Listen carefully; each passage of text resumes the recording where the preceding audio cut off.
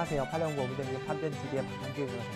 2024년 3월 15일자 팔레온고 민사 대부업법상 간주의자와 제3자 약정 사건입니다. 선고일은 2024년 1월 25일이고요. 사건 번호는 2022-22962로 판결입니다. 이 사건은 이제 유약벌 청구의 소고요. 원고는 미래에셋증권이고 피고는 채무자, 상고 계약 됐죠. 내용 보시죠. 이 원고는 2019년 11월 29일 날 피고 회사와 20억의 대출 계약을 체결합니다. 그리고 원고는 같은 날 대주주인 피고 A로부터 주식 일부를 취득하기로 하는 매매 계약을 체결 하고 매매 계약은 이제 80억.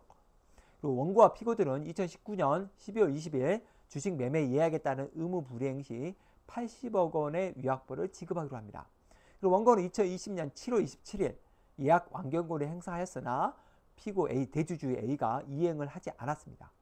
그리고 한편 또 원고는 어, 이 금융 자문 계약을 체결을 해서 수수료, 수수료로 피고회사로부터 1억 1천만 원을 받게 됩니다.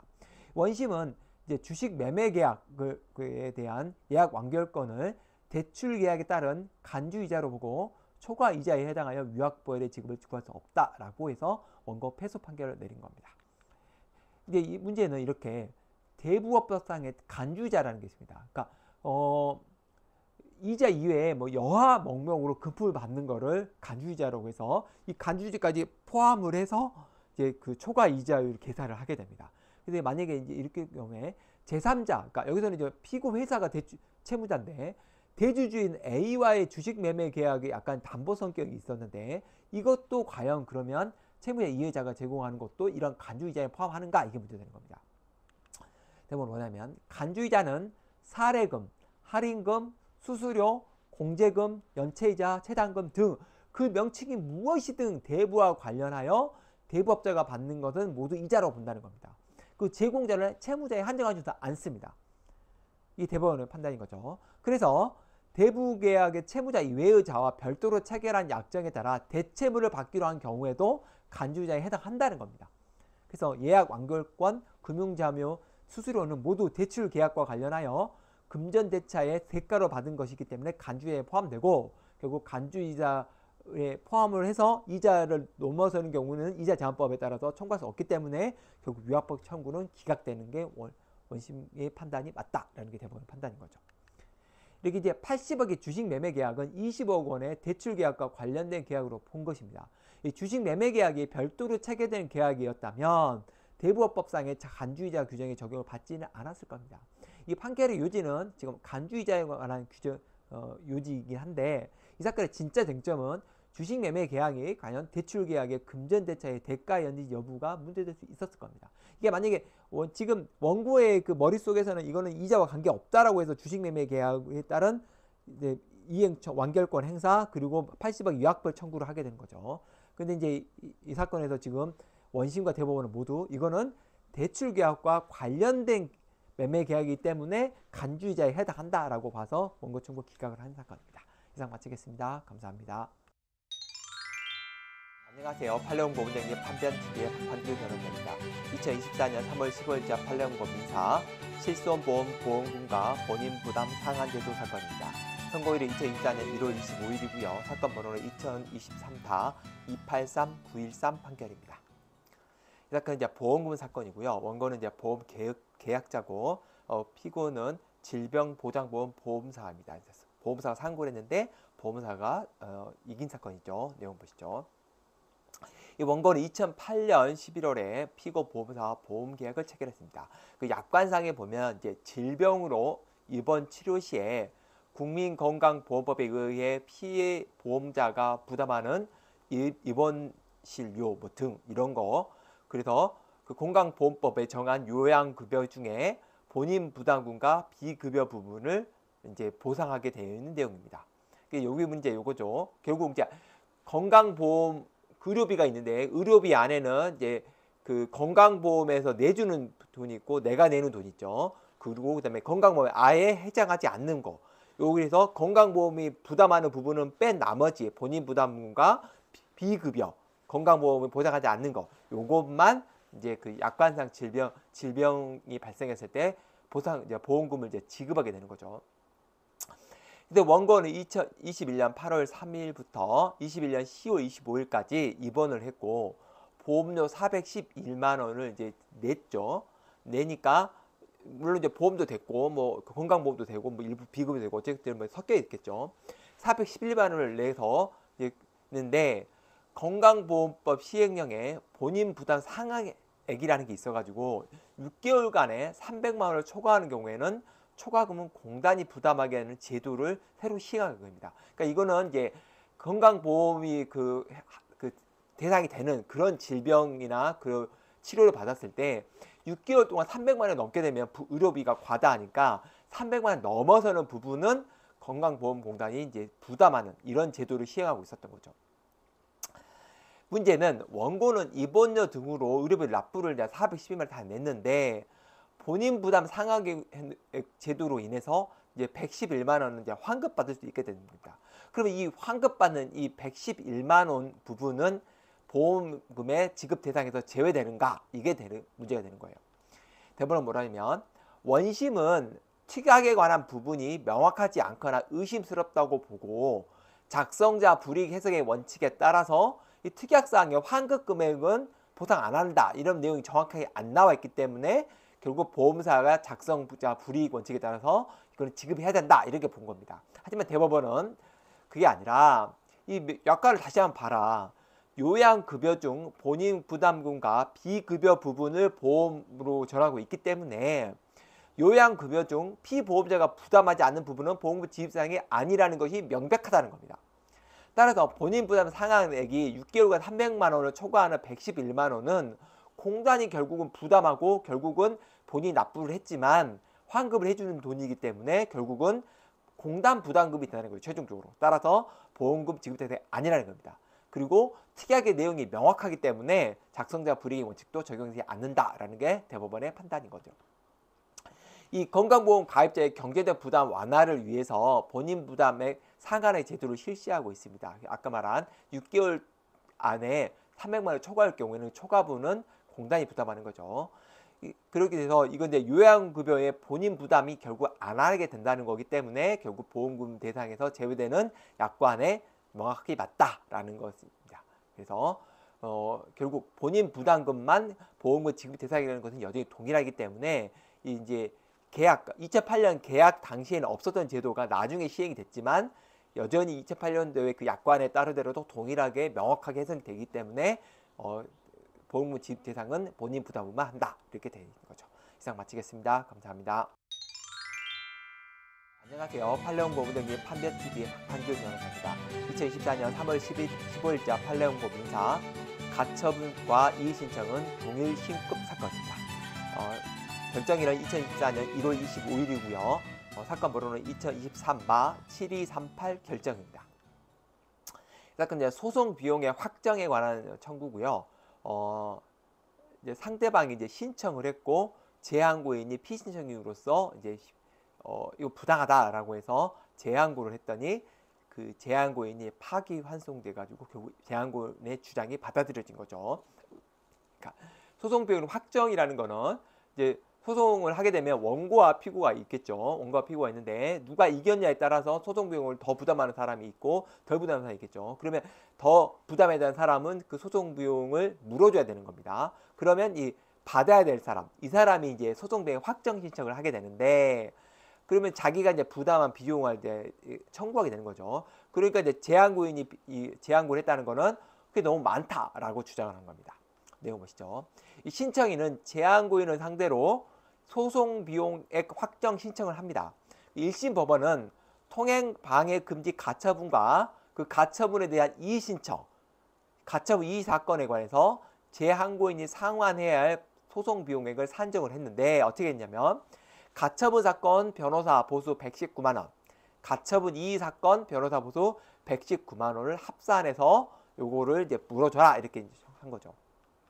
문제는 가처분 사건과 가처분 이의 사건이 동일 시급 사건인가 이게 문제되는 겁니다. 이제 어, 대법원 뭐라 하냐면 소송 비용에 산입되는 변호사의 보수는 각 신급 단위로 산정한다.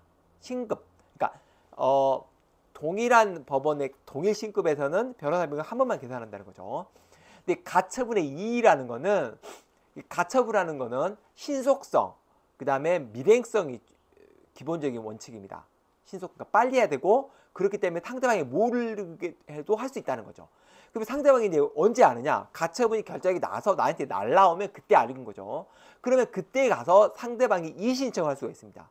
그러면 여기에 대해서 상대방의 주장을 받아들여서 다시 그 판단을 판단해야 되는 거죠. 이, 이때 이 이의 신청이라는 것이 어차피 상대방 의견을 안 듣고 한 이의 신청이기 때문에 이의 신청 할 때 비로소 동일한 신급으로서의 구성을 갖게 되는 거죠.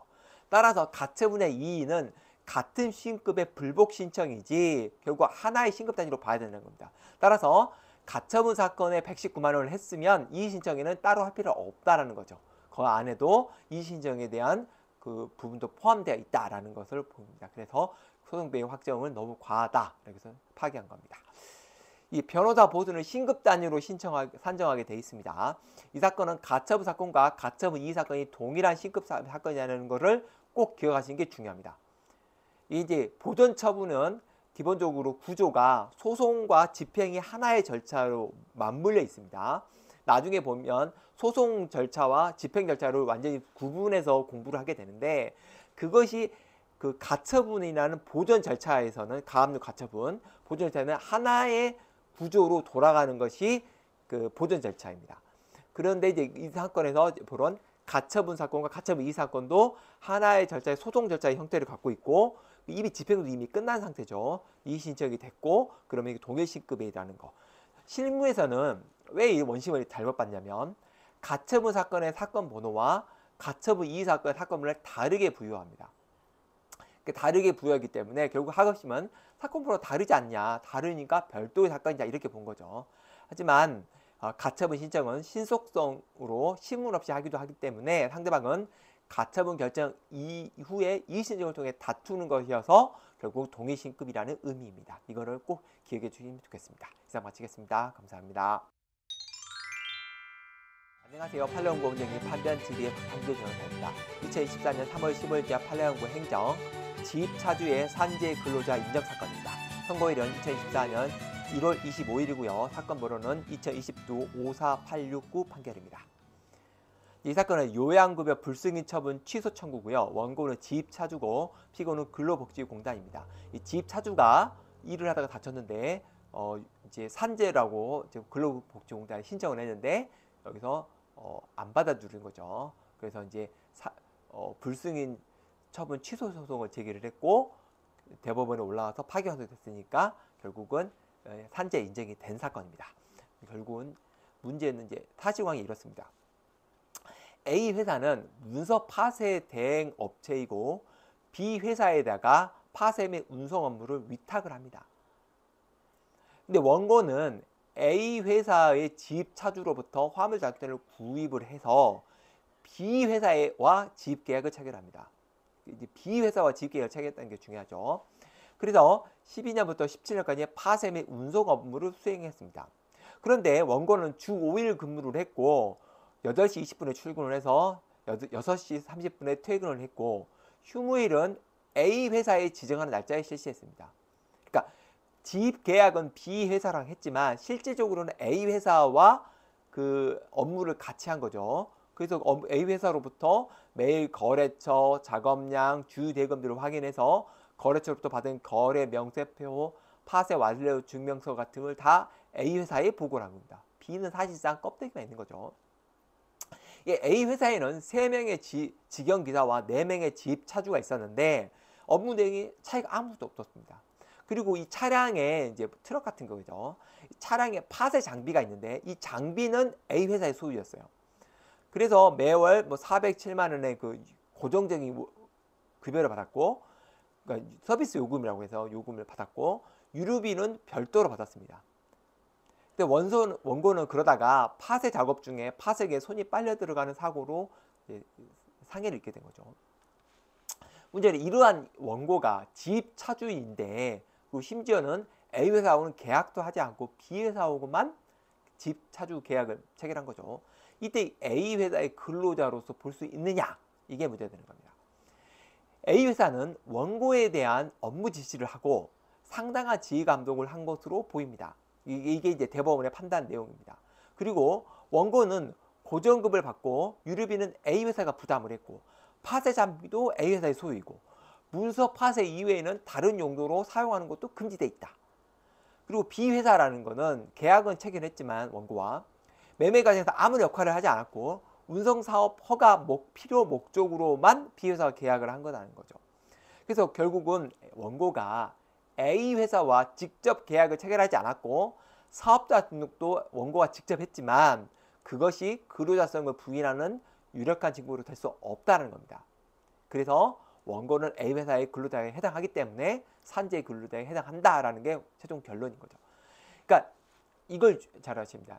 근로자인지 여부는 여부는 임금을 대가로 노동을 제공하는 것 제공하는 것 그리고 그 제공하는 과정에서 지휘 감독을 하고 하는 것을 말합니다.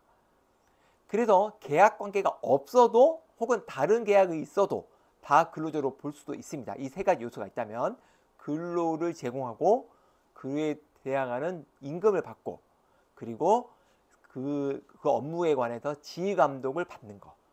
이 세 가지 요소가 있다면 계약이 없어도 또는 뭐 사업자 등록을 했어도 근로자가 인정될 수 있다는 겁니다.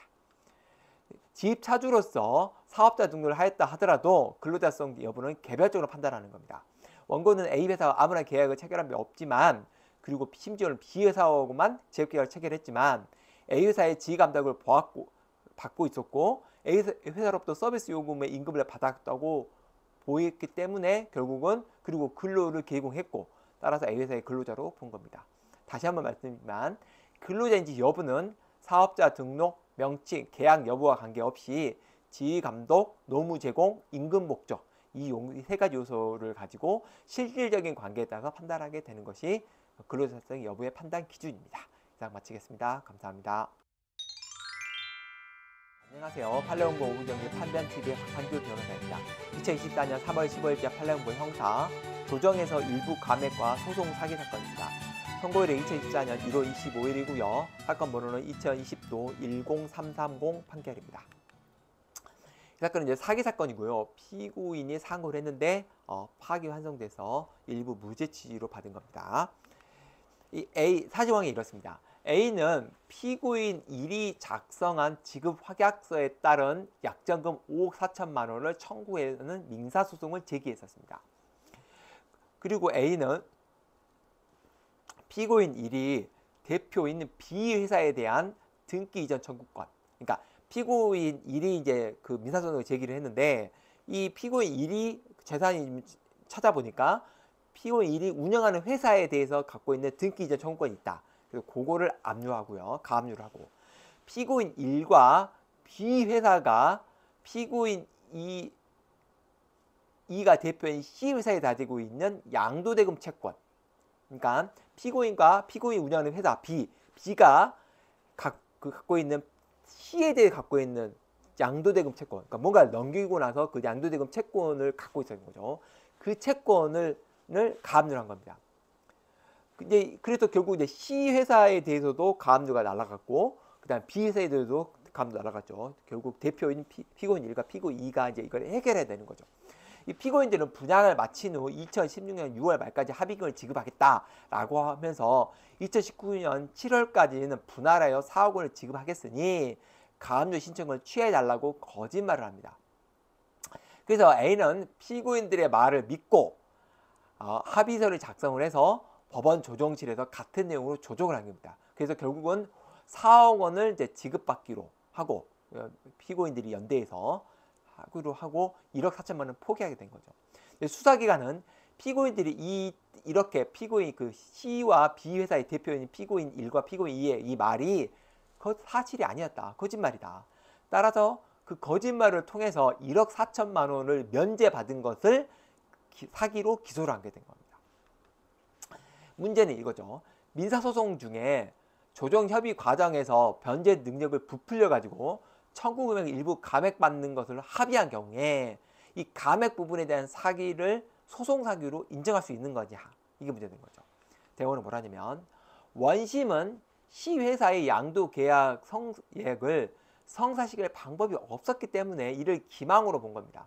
그러니까 C 회사가 이거를 다시 팔아서 뭔가를 하려고 했는데 이걸 못 파게 되는 거죠. 그러니까 그거를 애초에 팔 수 없었다는 거 본 겁니다. 따라서 그 A로 하여금 1억 4천을 포기한 것을 사기가 맞다 이렇게 본 거죠.